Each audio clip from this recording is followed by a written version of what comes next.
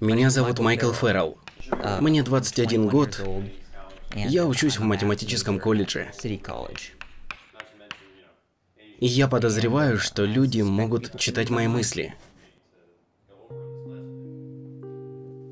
Спасибо, Майкл. Ты можешь занять свое место. Громче, пожалуйста. Телепаты очень любят живой ум, особенно такой, в котором живут самые интересные на свете мысли. Поэтому я нахожусь в зоне риска. У тебя есть запасной карандаш?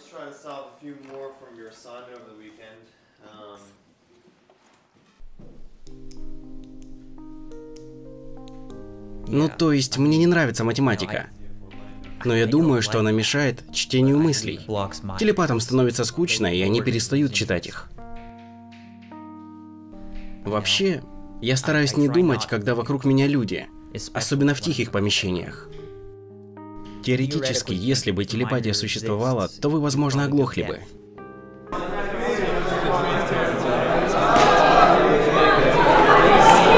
Это бы...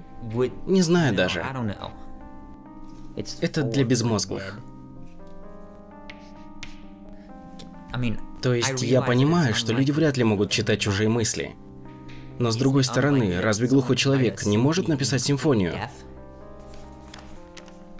Так почему в одной комнате со мной не может оказаться телепат? А, да. Это Чейн. Я стараюсь думать о ней по 16 часов в день. Но без толку. В моем воображении у нас был секс 32 раза. 8 раз на моей кровати, 6 раз на ее, 3 раза на кухне, 3 раза в душе, на крыше, в парке, в классе, кино, в лифте дважды, в машине, днем, ночью, на рассвете, закате, в фотобудке, на космическом корабле. Было не очень, но это она виновата. Было стрёмно.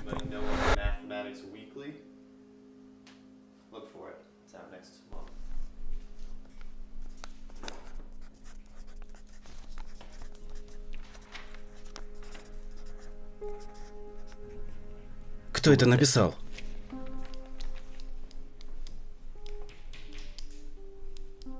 Черт, 36 плюс x1 плюс 0,1 помноженное на d ю равно d на d ю 36 плюс 11x плюс 0,1 помноженное на d ю равно... Не так. Кто это написал?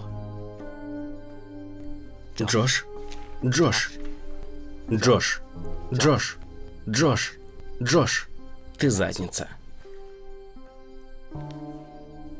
Тед? Тед. Не, ясно. Это не ты.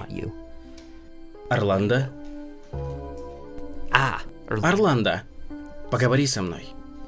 Давай, я знаю, что это ты.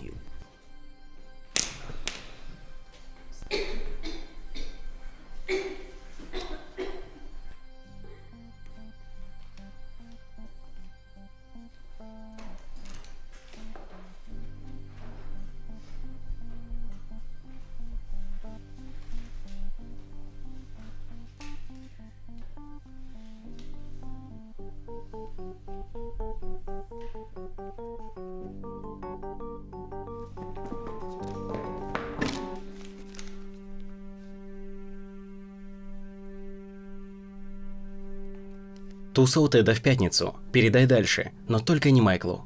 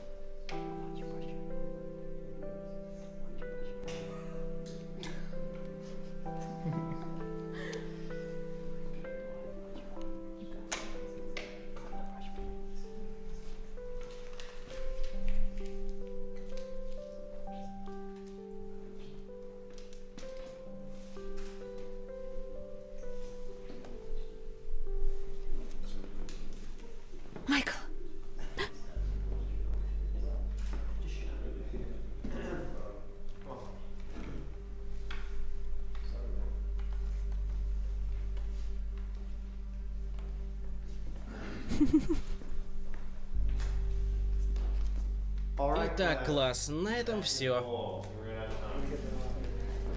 А, и не забудьте принести задачи с 15 по 17 из учебника к следующему четвергу. Хорошо.